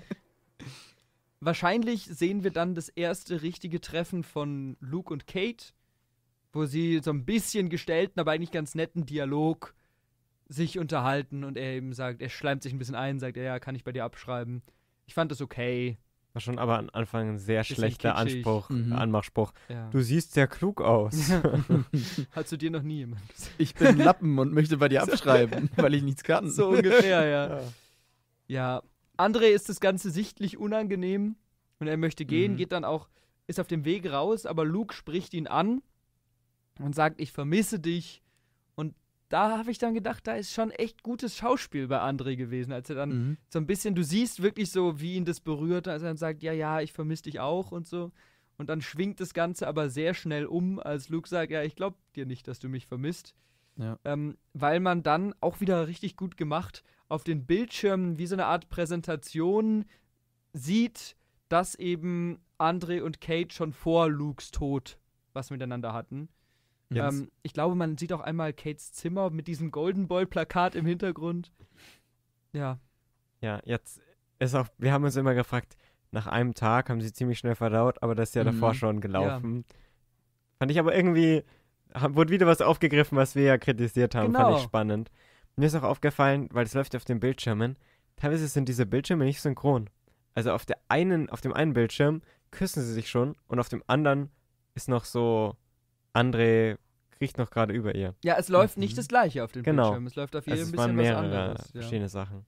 Ich habe das auch dann so gedeutet, als würden sie mir halt damit zeigen wollen, es läuft schon sehr lange, es ist schon sehr oft passiert. so. Maybe, ja. ja. Das ist eine gute Erklärung. Ja, wie findet ihr das? Dass die schon davor zusammen waren? ja. Ich, es klärt unsere, unsere Fragen, Ja. dass das so schnell drüber hinwegkommen. Ja, genau.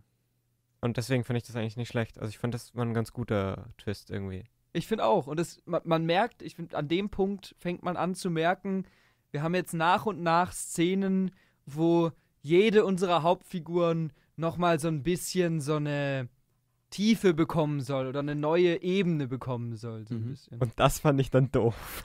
dass jede Figur da jetzt abgearbeitet wird und man dann nochmal auf die großen Probleme, die alle, die Ja. wir kommen müssen. Ich fand es halt ein bisschen plump, dass wir das so aneinander reihen. Dass wir sagen, okay, erst geht's um Kate, dann geht's um André, dann geht's um Jordan, dann geht's um Marie. So, Ja. das war schon ein bisschen listenmäßig. In sich fand ich diese Szenen aber eigentlich alle stark. Mhm. Also gerade jetzt diese Szene, die hat mir in sich total gut gefallen mit Luke. Die, die Szene mochte Ja. ich auch sehr gern, ja.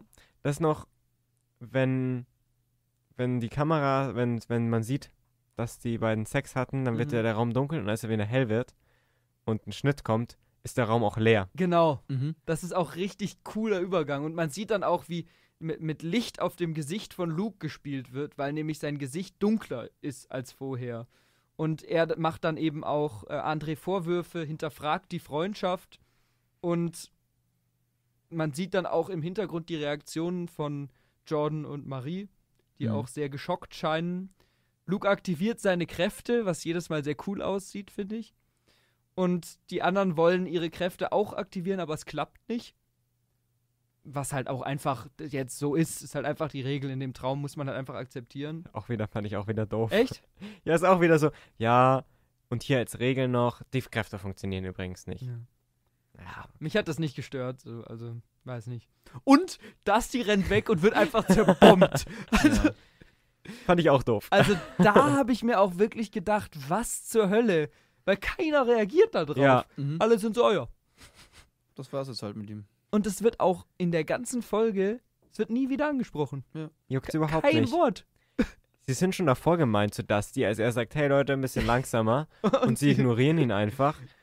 Und hier auch wieder. Ich weiß nicht, warum man ihn hier auch mitnimmt überhaupt und dann töten muss. Wahrscheinlich nur, um zu zeigen, ja, also da kann man wirklich drin sterben. Ja, Ja, also ja. Das ist so, schon das ist- gefährlich. dabei hat man mir das schon mit Soldier Boy gezeigt. Also ich finde, ich finde das ein bisschen doof. Also, dass man den einfach nur so als, hey, wir wollen noch einen Splatter-Effekt in der Folge haben, deswegen nehmen wir ihn da mit und lassen ihn da sterben. Vielleicht kommt ja noch was dazu. Ich meine, wie gesagt, es gab schon oft Kritikpunkte, die sich dann noch gelöst haben. Ich kann mir aber auch vorstellen, dass das Mhm. ein bisschen ins Nichts verläuft. Und das fände ich schon irgendwie sehr schwach. Weil wozu dann das Ganze? Weiß ich Mhm. ja nicht. Das hat halt auch einfach nur Soldier Boy behauptet, dass sie dann sterben würden, wenn sie da drin sind. Aber, Ja, und jetzt sieht man es halt. Aber aber ob es wirklich so Ach ist, so. Weiß man ja natürlich. Gut, du meinst, aber dass, die in der Realität noch lebt, aber der ist ja auch er nicht aufgewacht. ist. Das ja, aber wir haben nicht ihn auch nicht relevant. schlafend gesehen. In der. Man sieht ihn am Ende ja nicht mehr. Ja. Er sagt ja auch, warum bin ich überhaupt hier? Mhm. Ja. Irgendwie. Weil alle anderen sind ja um Kate herum, oder? Nee, doch, das ist Ah, auch er ist da. auch da. Er ist Ja. auch. Keine Ahnung. Also da würde ich mich wirklich freuen, wenn das noch aufgegriffen wird. Weil Ja. sonst wäre das schon sehr, Ja. sehr schwach. Und sie haben dann aber eben Angst vor Luke, weil sie ihre Kräfte nicht benutzen können und rennen weg. Genau. Genau. Und hier würde ich jetzt an, an Felix übergeben. Das war jetzt so die erste Hälfte, die ich ein bisschen ausführlicher vorbereitet habe. Oh no, viel Pressure. Zu der Luke-Szene noch. Meint ihr, der wusste davon? Eher nicht, oder? Weil es ja nur die Version von Luke in Mhm. Kates Kopf. Und dadurch weiß der überhaupt, dass die ganze Sache passiert ist. Aber der echte Luke hat das ja nicht gewusst, oder? Ich glaube auch nicht. Dass, beziehungsweise, wenn er es herausfindet, dann lässt ihn Kate es einfach vergessen. Das haben wir in der Folge Mhm. gelernt, dass sie das sehr oft macht und gemacht hat. Also ich glaube nicht, dass er es wusste. Ich glaube aber auch nicht. Kann ich mir Okay, fast nicht ja. vorstellen. Aber ja. Ja, aber da- dann, sonst wäre ja auch, also zumindest André wusste auch nicht, dass Luke es weiß. Ja. Weil André ist ja total geschockt da in dieser Szene. Deswegen. Ja. Genau, und dann haben wir auch wieder einen Übergang. Sie laufen aus diesem Schulgang raus und kommen dann vor dem Büro vom Professor Brink an. Die Mhm. Location kennen wir ja auch schon. An der Wand sieht man auch ganz viele Plakate oder halt ähm, so Rahmen, wo auch überall Brink draufsteht. Wo er auch selbst drauf ist. Ja. Wo ich mir dann gedacht habe, so in deinem eigenen Büro hänge ich auch Mhm. nur Bilder von mir auf. So. leicht, leicht selbstverliebt. Und genau, sie fragen sich ein bisschen so, was eigentlich abgeht und machen sich auch hier schon ein bisschen Vorwürfe, also vor allem Andrew, André. Und dann kommt aber Jordan in weiblicher Form. Das heißt, wir sind jetzt eben in Jordans Erinnerung und genau, ja, also wir wissen jetzt, das davor war Andres Erinnerung wahrscheinlich und nicht Kates, nehme ich an. Das davor. Ja. Ah, das war doch Kates Erinnerung. Das war doch das erste Treffen von Kate und Soldier, äh, Golden Boy. Und was ist dann Andres Erinnerung? André, wir haben keine Erinnerung Okay. von André. Das ist halt einfach das Aufarbeiten seiner Seiner Problematik. Probleme. Okay. Mhm. Genau, auf jeden Fall jetzt sind wir bei Jordan. Die lauscht erstmal an der Tür und dann gehen sie rein äh, in Brinks Büro. Dort äh, sind eben Luke und äh, Professor Brink. Luke ist wütend und äh, fragt auch nach Sam. Äh, Professor Brink hat irgend so eine Spritze in der Hand. Und genau, Luke fängt wieder an zu äh, glühen, wie wir es ja schon kennen. Und äh, Jordan schnappt sich eine so eine Maske aus so einem Schrank und lässt ihn einschlafen, wie bei Soldier Boy oder auch bei Sam. Mhm. Habe ich mich gefragt, woher weiß die, dass da das in dem Schrank ist? Notfallplan. Glück. Ja, habe ich auch angenommen. Aber zu dem Zeitpunkt ist sie ja auch noch nicht so die. Na doch, sie arbeitet ja da schon mit Brink zusammen, ne? Und Aber- sie, sie ist ja auch die Angetraute von Brink. Er ist ja, Ja. so ein bisschen ihr Mentor. Aber deswegen. zu dem Zeitpunkt ja noch nicht so krass, Doch, oder? doch. Er sagt da ja auch schon, erinnerst du dich, als du als Erstsemestler hier bei meinem Stuhl, auf meinem Stuhl saßt Mhm. und so Mhm. vorsichtig warst und jetzt äh, schau, wie weit du gekommen bist. Also, sie hat halt nur noch nicht für ihn gearbeitet, glaube Okay. ich. So habe ich es jetzt verstanden. Also, das hat mich jetzt nicht gestört, dass sie da die Maske. Brink ruft dann das Sicherheitsteam, das fünf Sekunden später da ist. Aber ich meine, das ist Mhm. alles in einem Traum, deswegen passt das schon. Im Hintergrund sehen wir wieder die drei großen Stars von Godolkin, The Deep, äh, Queen Maeve, A-Train. Und dann klärt Brink so ein bisschen auf, was denn da jetzt eigentlich abging zwischen ihm und Golden Boy. Und erzählt Jordan etwas über so Stärkespritzen, Mhm. die Luke anscheinend nicht vertragen hat. Und Jordan will auch welche. Mhm. André kommentiert das natürlich und sagt immer, dass Jordan immer nur auf sich selber achtet. Und dann beruhigt Brink aber Jordan irgendwie und nennt sie zur, zu seinem TA, also Mhm. zu der Position, die wir dann schon kennen. Und ja, die anderen sind darüber sehr wütend. Mhm. Ich konnte nicht ganz nachvollziehen, wieso. Okay, was konntest du nicht nachvollziehen da drin? Also, weil sie so vorwerfen, hey, du wusstest ja jetzt schon alles über The Woods und sowas. Und was, Nein, was nein. weiß denn? Nein, nein, sie Jordan. werfen, sie werfen ihm vor, du wusstest, dass Luke schon mal Brink angegriffen hat und hast nichts dazu gesagt. Mhm. Und wann hätte das Jordan sagen sollen? Also, wann war das relevant? Also das war relevant, nachdem Brink gestorben ist zum Beispiel, hätte sie sagen können, dass das schon mal passiert ist. Vorher schon. Ich meine, da, das wäre ein Grund irgendwie, wenn man das öffentlich macht, irgendwie äh, was gegen, gegen Golden Boy zu machen, den rauszukicken irgendwo oder so.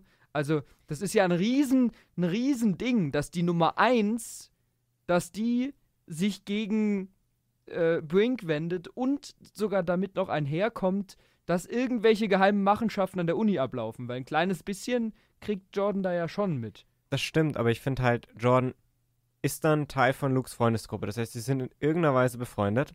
Sie ist halt Brinks TA und irgendwie möchte sie halt das vielleicht auch glauben. Also ich kann das sehr gut nachvollziehen, dass der Jordan nicht sagt. Mhm. Und niemand hat sie gefragt, ja, warum hat nun jetzt Soldier Boy, äh, Soldier Boy, Golden Boy jetzt eigentlich Brink umgebracht? Also ich finde, also ich, ich kann Jordan da schon irgendwie nachvollziehen. Also natürlich verhält sie sich nicht korre super korrekt und perfekt, aber ich, Stell, stell dir mal vor, wir drei sind Freunde und ich finde jetzt raus, dass du schon zweimal Daniel einfach hinterrücks betäubt hast.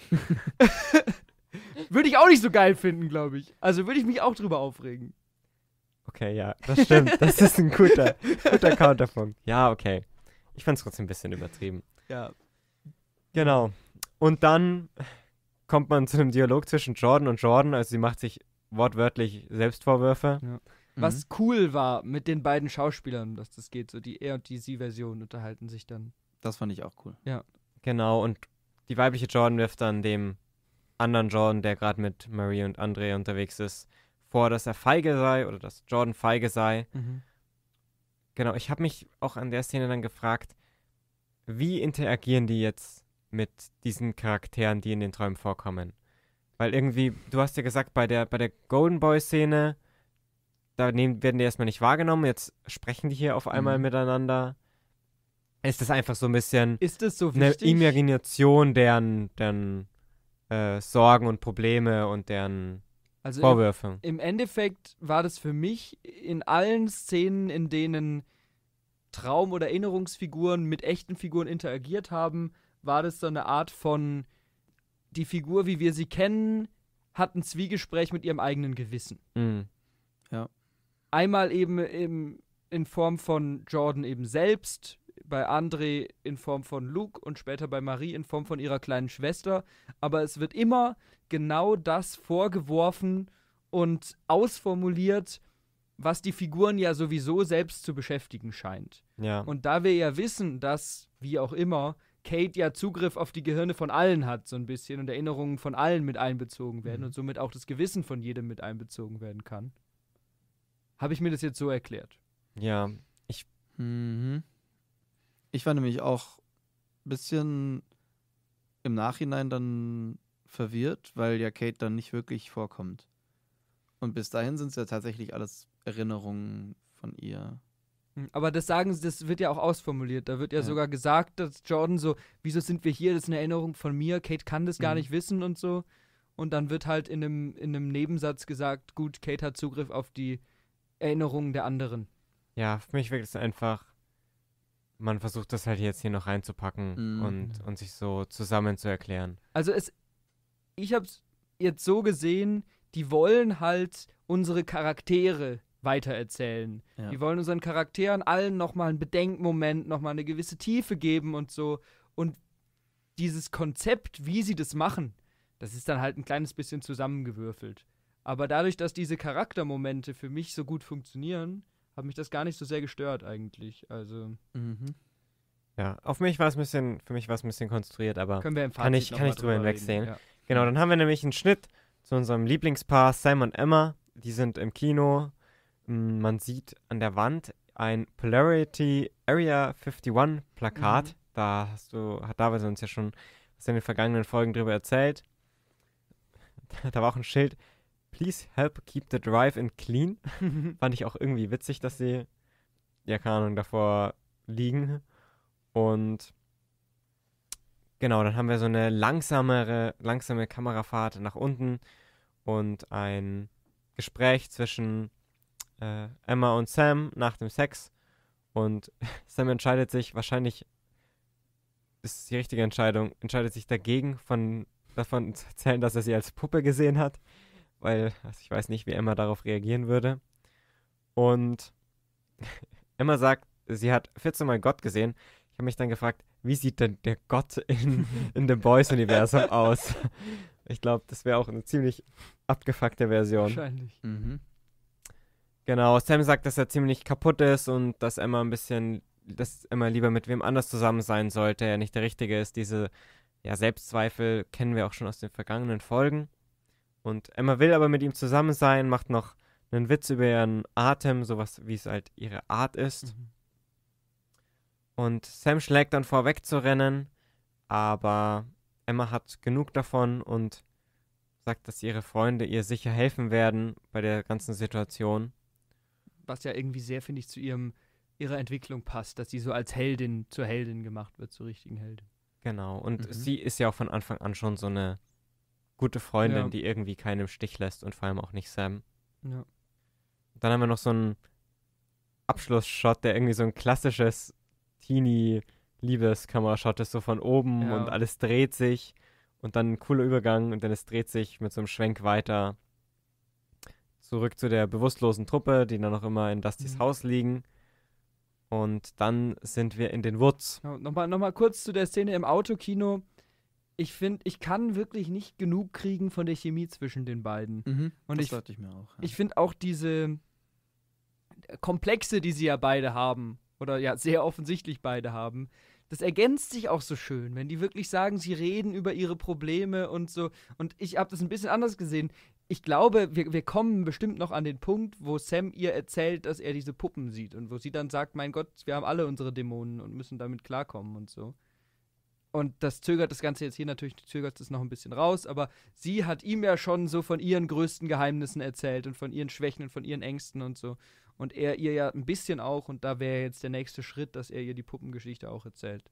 Ja, nee, ich kann mir auch Ja. vorstellen, dass das noch kommt, nur hier äh, traut er sich noch nicht Das und, und sagt ja auch, dass er ein bisschen weird ist. Und ich finde das irgendwie sehr spannend, weil er schon diese Selbsteinschätzung hat, dass irgendwas mit ihm nicht richtig ist und Ja. sowas. Und trotzdem verhält er sich manchmal so, manchmal aber auch ziemlich normal. Finde ich irgendwie einfach einen sehr guten Charakter. Ja, das stimmt. Und hier funktioniert auch mal diese Teenie-Drama, Ja. Liebes-Thematik, ne? Mhm. Also wie sie drüber sprechen und sowas, ich kaufe das den beiden echt ab und da wird sich auch echt Zeit genommen für Ja. die beiden. Gut, genau, dann zurück zu den Woods. Da stehen in den Trivia, dass sie es so aus Bäumen und Waldtieren gestaltet haben und dass das dann aber mit der Zeit abgeblättert ist. Und Mhm. man wollte das wirklich gruselig gestalten, der das gemalt hat irgendwie in den Woods. Also äh, sollte es auf jeden Fall kein schöner Ort sein und ist es natürlich auch nicht. Ja, Jordan wiederholt dann was ziemlich offensichtlich ist, dass die Probleme jedes einzelnen Charakters jetzt irgendwie nacheinander aufgearbeitet werden und eben, wie wir schon gerade gesagt haben, deren Gedanken und mit denen von Kates verschwimmen.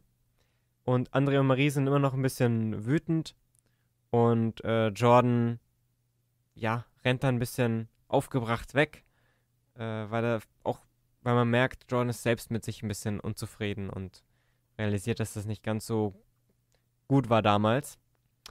Und er entdeckt dann in einer Kammer Luke und Sam auf so zwei Liegen und äh, ebenfalls Indira, Brink und Dr. Cardosa.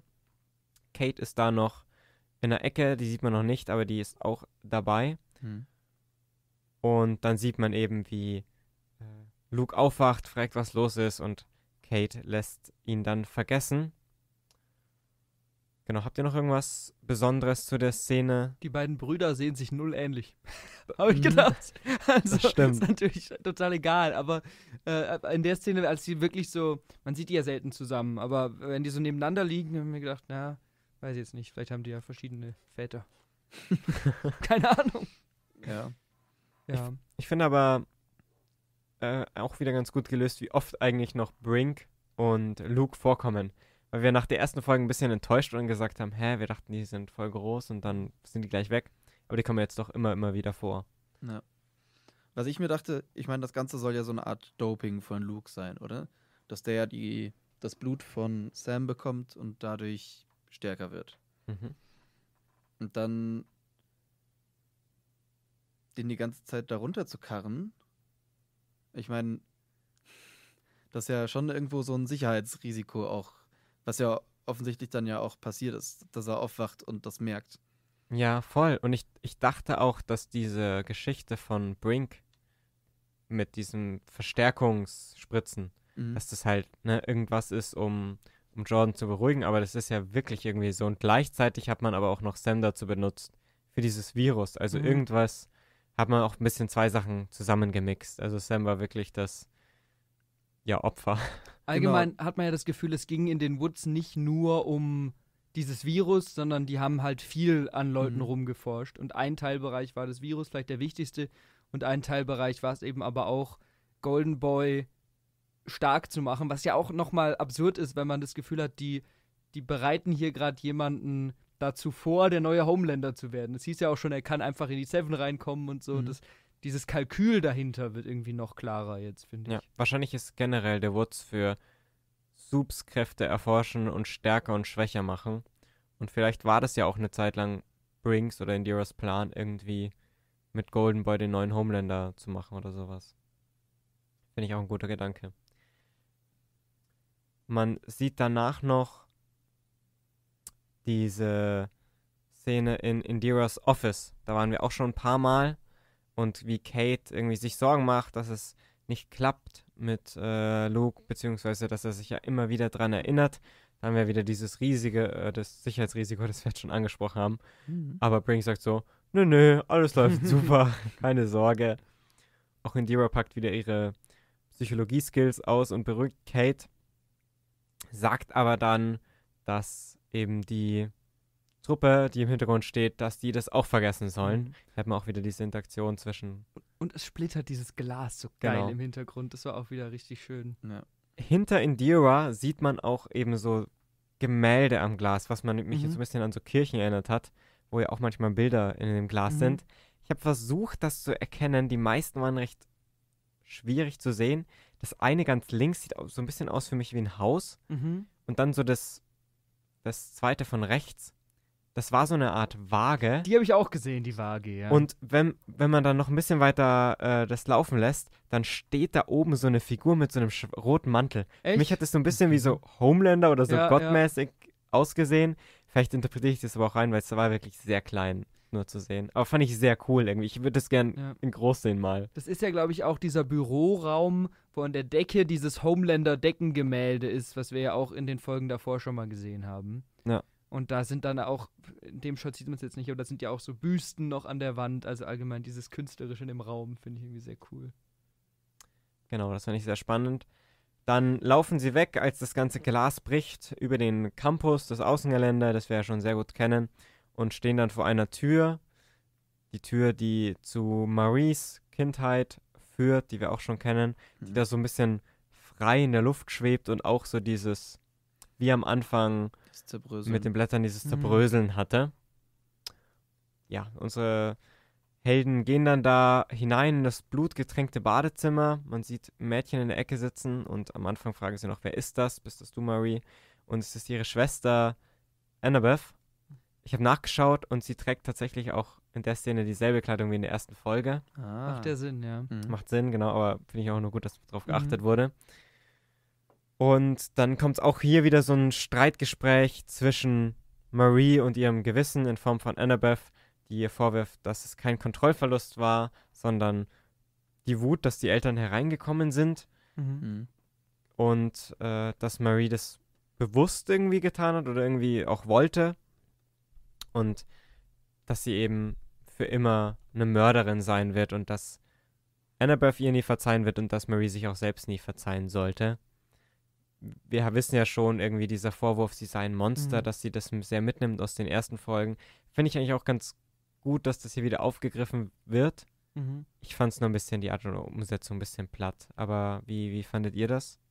Also ja, ja, mach du.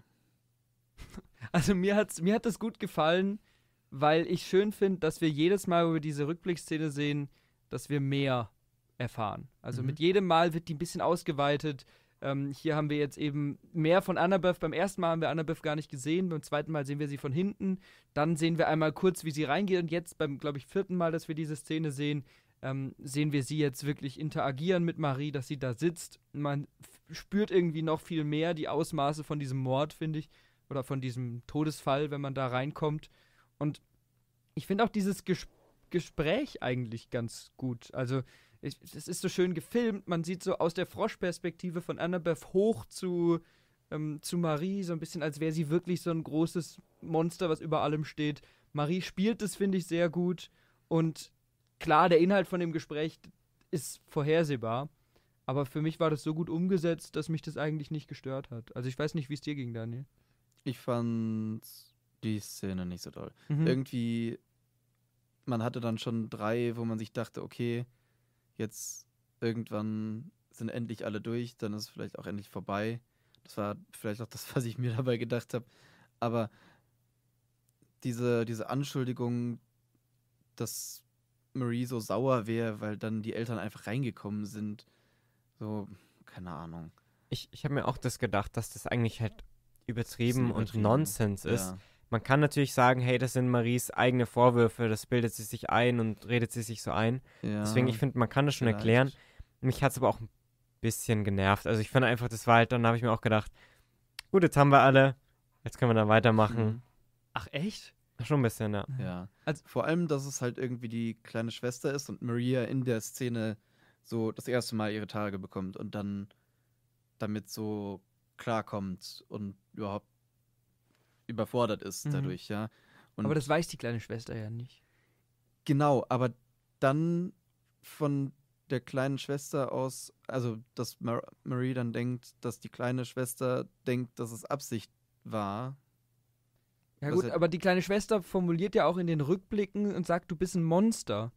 Und sagt es so. Und ich meine, wenn man sich das überlegt, Ja. äh, zehnjähriges Kind, die kleine Schwester ist wahrscheinlich höchstens zehn, mhm. und die kriegt mit, wie aus dem Nichts ihre große Schwester Kräfte Die- die bekommt Eltern und erstmal umbringt. beide Eltern umbringt, dann, dann fällt es da vielleicht, gut, vielleicht psycholo psychologisiere ich diese Serie zu sehr, aber dann fällt es natürlich der kleinen Schwester auch schwer da zu trennen zwischen, ach, das war nur ein kleiner Fauxpas. Versehen oder Absicht, ja.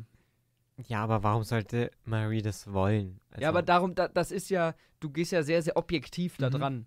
Versuchst es so sehr unemotional zu betrachten. Aber wenn du dir überlegst, die einzigen beiden Bezugspersonen in deinem Leben sind einfach aus dem Nichts tot und du weißt, deine, deine Schwester war das, dann äh, kann vielleicht das zehnjährige Kind diesen Schritt nicht machen, dass es sagt, okay, vielleicht war es ja keine Absicht, es war aus Versehen, sondern es ist einfach, deine ganze Welt bricht gerade zusammen und sie ist schuld. Ja. So. ja. Wie gesagt, ich kann, ich finde, man kann das natürlich erklären. Ich fand trotzdem, dass ich das ein bisschen platt fand, dass man das hier nochmal Ja. so, so aufgreifen muss. Aber okay. Da hätte ich vielleicht, ich weiß nicht, man hätte dann noch irgendwie eine Szene aus dem Waisenhaus bei ihr rausholen können oder so. Da hätte ja auch noch irgendwas passieren können. Und da ist bestimmt irgendwas Ja. passiert in der Zeit, aber. Irgendein Anruf oder Brief oder sowas Ja. vielleicht. Oder ein Oder der Versuch, dass sie irgendwie ihre Schwester sucht oder Ja. so und dann halt nicht erfolgreich ist damit. Allgemein war halt ihr Part, den sie jetzt abgekriegt hat, hier, war ein bisschen kurz. Ja. Also ich finde da, ich hätte durchaus jetzt anschließend an diese Szene noch so eine Waisenhaus-Sequenz gerne gesehen. Mhm. Oder auch stattdessen ein bisschen länger. Es, ich glaube, das größte Problem ist, es hat für mich so gewirkt, als würde man es abarbeiten wollen. Ja, genau. Mhm. Man hat halt noch für Marine eine Szene gebraucht Genau. und dann hat man das halt gemacht. Mhm. Aber naja. Dann Marie wendet sich so ein bisschen dann von Annabeth ab und realisiert so, hey, das sind eigentlich alles nur ja, meine eigenen Vorwürfe und spricht dann Kate direkt an, dass es nicht ihre Schuld sei, dass sie ihre Kräfte nicht verstanden hat. Ebenso wie Mhm. jetzt äh, Marie damals. Und ist ja ein bisschen ein kleiner Throwback, das hört man auch gleich nochmal im Voice-Over, wo Kate zu Marie ungefähr dasselbe gesagt hat und gesagt hat, hey, deine Eltern sind dran schuld, mach dir keine Vorwürfe. Genau, das hört man eben Kate im, im Voice-Over wieder sagen. Und dann sind wir wieder in ihrem Zimmer und zwar war das, ist es dasselbe Zimmer wie in ihrer Jugend, wo man sie dann sieht. Ähm, man sieht äh, wieder Queen Maeve Poster, die wir schon kennen.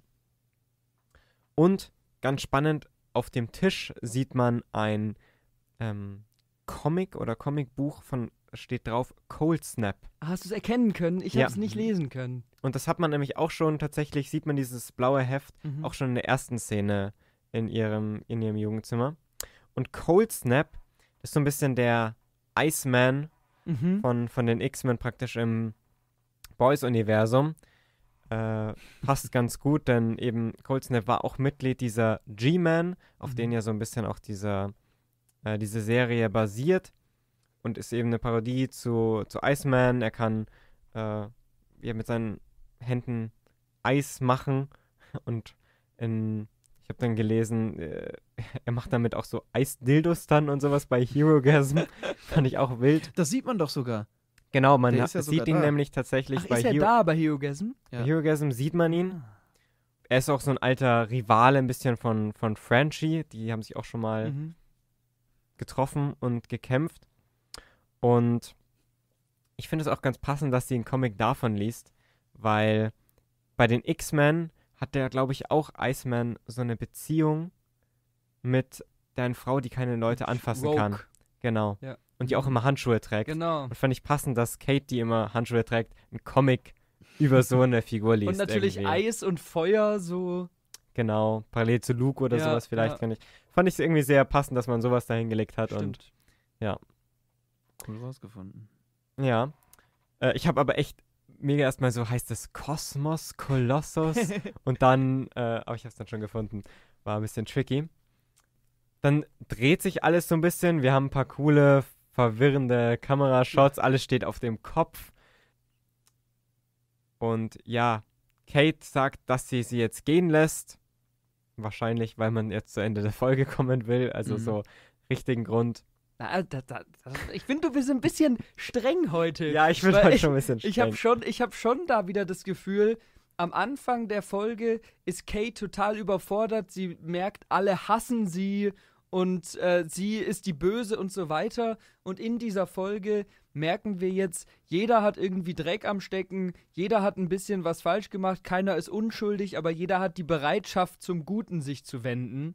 Ja. Und das merkt Kate natürlich auch und nachdem sie das, auch wenn es ein bisschen puzzelmäßig nacheinander angereiht ist, auch wenn sie es jetzt bei allen gemerkt hat, sagt sie jetzt, okay, ihr könnt gehen. Hm. Mhm. Aber gut, vielleicht bin ich auch sehr wohlwollend heute, ich weiß es nicht. Nee, das, das macht ja schon Sinn, vor allem, weil am Ende spricht die Marie, hat sie auch nochmal angesprochen, hat gesagt, hey Kate, was ist los? Und jetzt haben sie sich so ein bisschen getroffen. Davor Ja. war immer so, sie haben Kate beobachtet oder haben sich nur mit sich selbst beschäftigt und hier treffen die jetzt wieder zum ersten Mal aufeinander.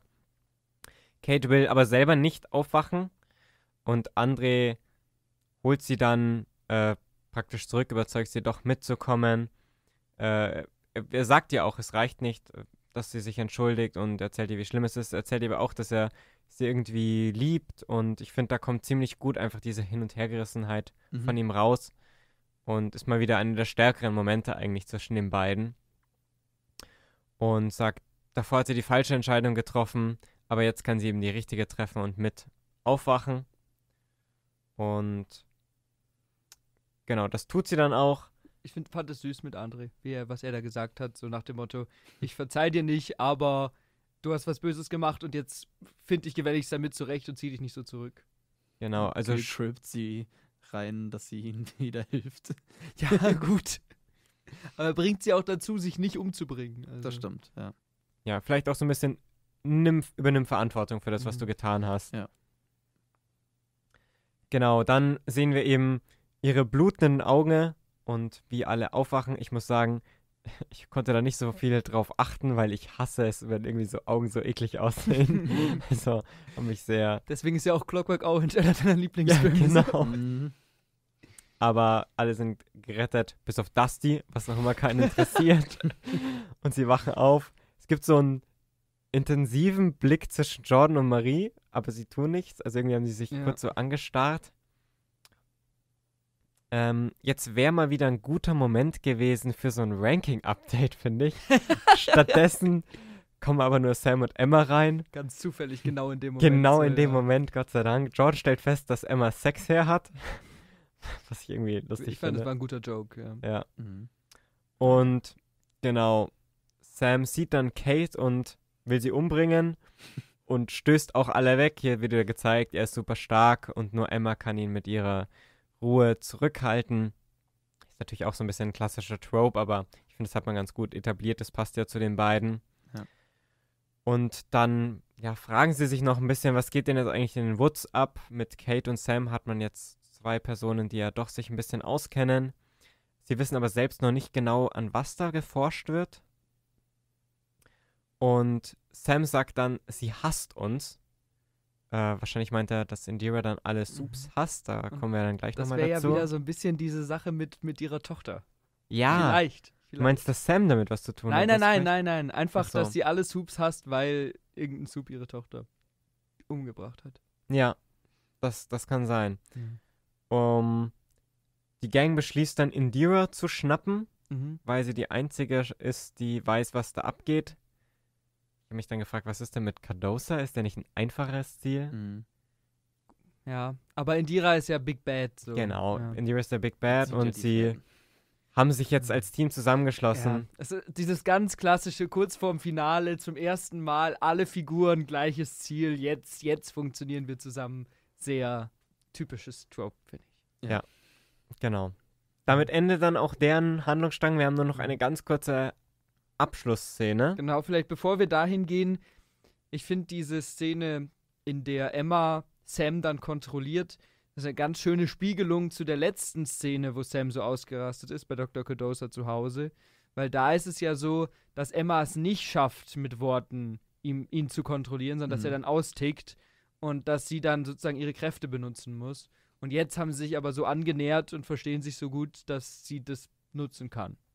Das ist eine schöne Parallele, die ist mir gar nicht so bewusst gewesen. Ja, Ja. finde ich auch sehr gut. Und ich, ich glaube auch, weil die, ich habe beim zweiten Mal dann gedacht, wieso ist da dieser Joke drin, dass Jordan sagt, ja, du hast Sexhaare, so Sexfrisur.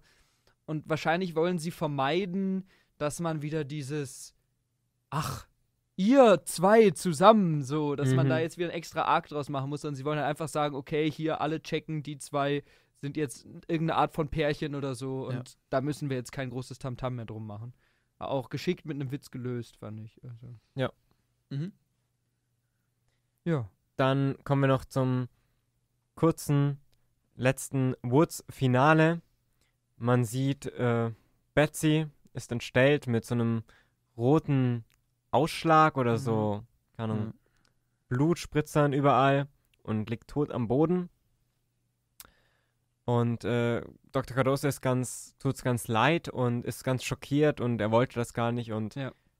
ja, ist auch selbst überrascht, dass sie es geschafft haben, irgendwie, Mhm. also aus Versehen Soup zu töten. Und äh, Indira, man merkt aber schon in ihrem Blick, freut sich eher darüber und sagt, mach es äh, contagious, also mach es ansteckbar, dass es eben weiterverbreitet Ja. wird. Am Anfang der Folge wird ja noch gesagt, es kann nicht übertragen werden. Mhm. Ich habe mich dann gefragt, nur auf Soups übertragen werden? Also wahrscheinlich. Also es wird ja auch gesagt, dass das Virus so funktioniert, dass es sich an das Compound wie im Blut Ja. heftet. Genau. Ja. Deswegen wird es wahrscheinlich nur für Soups funktionieren. Genau.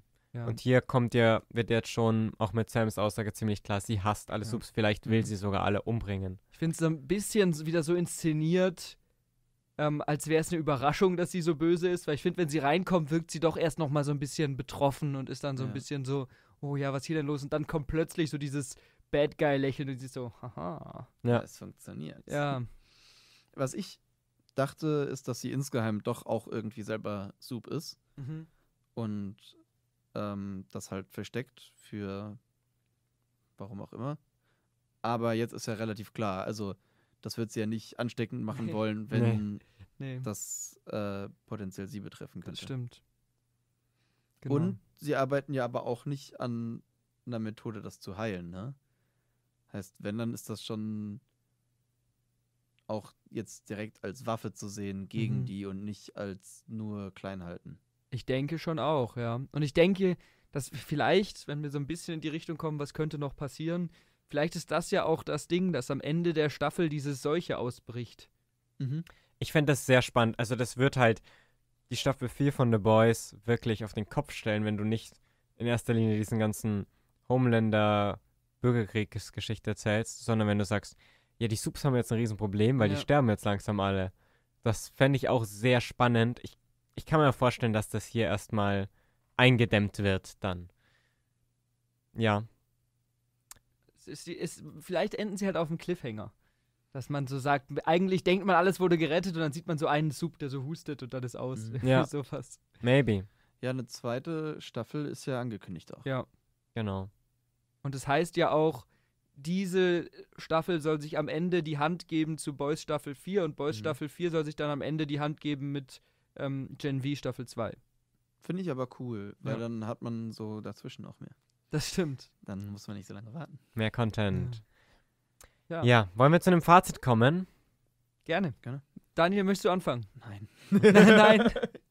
Ich äh, will erst hören, was du dazu zu sagen Okay. hast, weil ich glaube, unsere Meinung ist dann doch ein bisschen negativer. Ja, ich, ich hab's jetzt auch gemerkt. Ich hab's schon am Anfang gemerkt, als du gesagt hast, ja, jetzt kam eine Füllerfolge auf uns zu, wo ich dann, ich habe das ein bisschen umgangen, weil ich das nämlich gar nicht so sehe. Mhm. Also mir hat die echt gut gefallen, die Folge.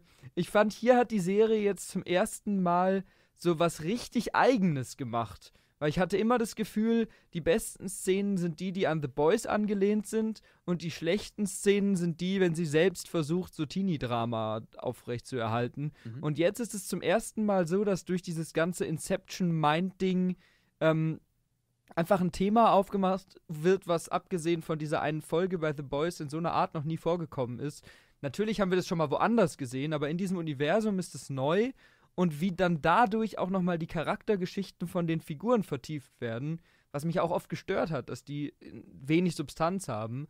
Es hat mir total gut gefallen und natürlich ist es so ein bisschen so, dass man sie wahrscheinlich sich überlegt haben, wir wollen noch mal eine Charakterfolge machen und irgendwie müssen wir da einen Plot außenrum bauen. Also es ist ein bisschen konstruiert und es ist auch ein bisschen ähm, hat gewisse Logiklücken und so weiter. Aber an der Stelle kann ich jetzt eigentlich echt ganz gut darüber ähm, hinwegsehen, weil ich irgendwie denke, ihr traut euch einfach mal selbst was, was Neues zu machen. Das hat für mich echt gut funktioniert. Natürlich gibt es immer noch so ein paar Arcs, die interessanter sind, wie eben jetzt Emma und äh, Sam.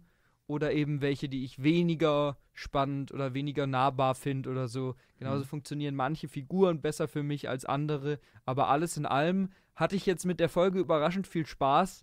Und es war eben für mich nicht diese, also handlungstechnisch vielleicht, aber beim Gucken nicht diese Füllerfolge, sondern ich habe das, oder wenn wir es als Füllerfolge bezeichnen, müssen so für mich Füllerfolgen aussehen, sagen wir es so. Mhm. Möchtest du Punkte vergeben? Acht von zehn würde ich dir geben. Ja. Boah. Okay. Die fandest du jetzt besser als die letzte Folge? Ja. Okay. Ja, ähm. Ich finde, es ist eine Füllerfolge. Aber ich finde auch, für eine Füllerfolge ist die sehr gut. Weil in der tatsächlichen Geschichte geht es ja nicht wirklich großartig weiter. Wir kriegen ein bisschen Hintergrundinformationen zu allen Charakteren. Dass die Hintergrundinfos zur Hälfte, naja, so die von Jordan und Marie finde ich jetzt beide nicht so spannend oder neu. Mhm. Wir wissen, dass Jordan irgendwie schon Sachen wusste, die die anderen nicht wussten. Und ja, das wussten wir bei Kate ja genauso, dass die die Leute Sachen vergessen lassen kann, so seit der letzten Folge. Und dementsprechend war das jetzt für mich, die zweite Hälfte waren mehr so, okay, das müssen wir jetzt noch irgendwie auffüllen und da noch mehr reinbringen, damit wir auf 40 Minuten kommen oder so. Und die erste Hälfte fand ich sehr gut. Ich würde so auf sechs Punkte gehen. Ja, ich, ich bin da ein bisschen ähnlich. Also ich finde, mich war das auch eine füllervolle Folge und mich hat auch ein bisschen einfach das Konzept, fand ich nicht so super, weil es halt wirklich für mich drauf gewirkt hat, hey, wir arbeiten jetzt nochmal von jeder unserer Hauptfiguren deren größtes Problem auf und geben der damit nochmal Tiefe. Es war einfach für mich ein bisschen erzwungen und so richtig deren Beziehung untereinander hat man auch nicht erzählt. Also ich, ich hätte kein Problem damit gehabt, wenn man die, die Beziehungen der Charaktere und deren Characters einfach noch weiter ausarbeitet. Aber weil das kennen wir doch wollte eigentlich ich ja auch. schon, oder? Aber ich finde, hier wurde jetzt nicht wirklich was neu weitergemacht. Ich fand auch einige Stellen super, wie gesagt, der, der Mhm. Twist mit, dass äh, Andrea und Kate schon zusammen waren oder Mhm. äh, die Soldier Boy Szene oder auch äh, vor allem der Emma und Sam Handlungsstrang. Aber ich finde einfach, für mich hat es an zu vielen Stellen irgendwie so ein bisschen, keine Ahnung, gehapert und da haben mich so kleine Logikfragen irgendwie so gestört, dass ich auch einfach die Folge nicht, nicht so super fand. Also ich, ich, ich, wie gesagt, die hatte ja gute Sachen. Ich kann verstehen, wenn man die für eine Folge ganz gut findet. Aber irgendwie bin ich nicht so richtig warm mit geworden. Ich kann es verstehen, weil die halt auch einfach weg von dem geht, was wir bis jetzt äh, gesehen haben, finde ich ein bisschen. Und ich, ich Auf finde eine Art, die man gut oder schlecht finden kann. Ja, und ich finde, dass sie halt nicht nur keine Handlung weitertreibt, sondern auch die Figuren einfach nur das bisherige nochmal auffrischt und sagt, okay, jetzt machen wir damit fertig und danach machen wir jetzt nur noch Handlung. Mhm. Statt dass man irgendwie deren Geschichten weitererzählt. Also ich rede jetzt vor allem von den Jordan, Marie, andere Sachen. Mhm. Weil auch hier natürlich ist so richtig mit Kate wieder anbonden, das ist gut. Klappt schon ein bisschen, aber nicht so hundertprozentig. Also ich würde dem wahrscheinlich auch so sechs Punkte Mhm. geben. Ja, ich meine, mit, mit Kate stimmt schon. Zwischen denen das Einzige, was sich klärt, ist, Kate ist nicht die Einzige, die Fehler gemacht hat. Aber das wussten wir auch schon. Ja, aber in dem Ausmaß wussten wir es noch nicht. Das Einzige, wo ich zustimmen würde, ist bei Marie, ja, da wussten wir, sie gibt sich da die Schuld, dass sie einen Fehler gemacht hat. Aber den, das Ausmaß der Fehler von Jordan und gerade der Twist mit André waren ja total neu von uns. Und im Endeffekt war ja auch Jordan immer äh, die Figur, die ähm, Kate jetzt der, Anfang dieser Folge und letzte Folge am meisten Vorwürfe gemacht hat. Ja. Und André. Deswegen Mhm. Natürlich, ich fände es jetzt doof, wenn wir weitermachen würden mit, ja, jetzt ist alles Friede, Freude, Eierkuchen und sie verstehen sich super gut. Aber sie müssen sich halt jetzt gegen den Bad Guy, die Bad Guy, ähm, zusammenfinden und Punkt. Ab Ja. nächster Folge geht es, glaube ich, auch wieder ab. Also ich glaube, Ich da. glaube auch. Handlungstechnisch wird da viel mehr passieren wieder. Ja. Ja, ich freue mich drauf. Ich auch. Ich auch. Also ich freue mich trotzdem drauf. Ich Ja. habe trotzdem noch immer Spaß an der Serie. So Ja. ist nicht. Aber jetzt haben wir ein bisschen den Spiegel von der zweiten Ja, Folge, das weil da war es ja auch so, dass ich die so schlimm fand und du die nicht so schlimm fandest. Deswegen, ja. Nee, aber ich, ich freue mich auch, dass wir mal, letztes Mal hatten wir alle die gleiche Meinung, war ja richtig langweilig. Und dass wir jetzt mal ein bisschen diskutieren konnten. Ich hoffe auch, ich habe euch nicht zu sehr genervt, wenn ich immer so positiv Nee, überhaupt nicht. Ich, eingehakt Das ist ja gut, habe. Fand's wenn ja jemand gut. auch andere Blickwinkel hat. Ja, dann mö möchtet ihr noch was hinzufügen oder so? Oder? Ich Nee, ich bin durch. bin gespannt auf nächste Woche. Ich auch. Wir haben ja jetzt schon während der Folge relativ spe viel spekuliert, wie es weitergehen könnte. Deswegen Mhm. müssen wir es, glaube ich, jetzt nicht nochmal extra sagen. Aber ich freue mich auch schon auf die nächste Folge. Und ich freue mich auch darauf, sch- äh, schon wieder drauf, wenn wir die hoffentlich wieder zu dritt besprechen können. Gerne. Und ja, dann, dann danke ich euch. Es hat wieder Spaß gemacht. Und ähm, wie immer, wenn ihr mehr von Your Watchlist hören wollt, macht es gerne auf Spotify oder auf YouTube, auch bei Your Watchlist oder Your Watch Begins auf Instagram. Und dann äh, bis nächste Woche. Ciao, ciao. Ciao. Ciao.